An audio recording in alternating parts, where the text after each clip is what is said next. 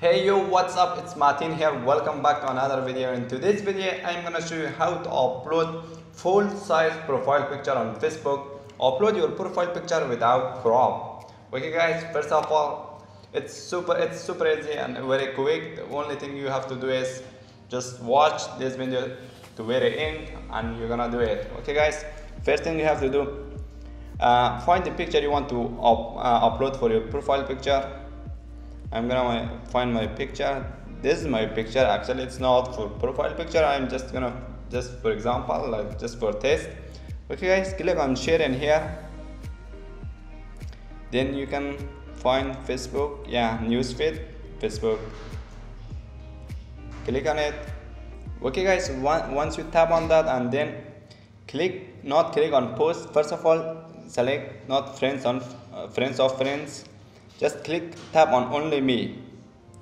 You don't want to see this your friends yet. You just tap only me and come back and click. Like you can edit it if you want to like just click post or tap post. Okay guys that's it. Now the only thing you have to do go on your play store uh, download or install this application. Opera Opera Mini browser. You have to install this browser guys. Opera Mini browser. Probably you guys know. Okay guys once you install it click on it open it. Once it's opening okay it's setting up check network configuration. Welcome to opera mini okay then uh, click on here.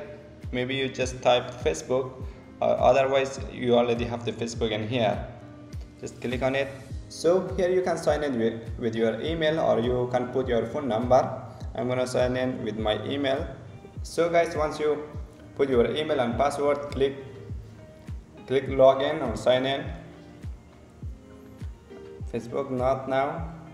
Click on your facebook guys then okay guys now tap on your facebook. Then in here you can see it's my it's my profile. It's the picture that i posted like six minutes ago as you guys see.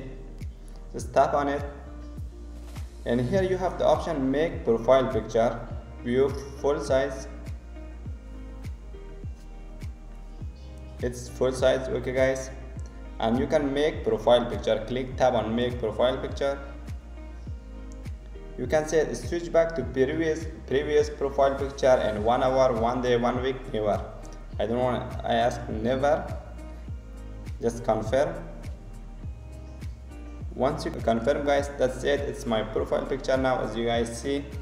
Okay guys that's it for this video. I hope you like it. If you like it smash the like button and subscribe for more videos. I really appreciate your helps and thank you so much for watching. Again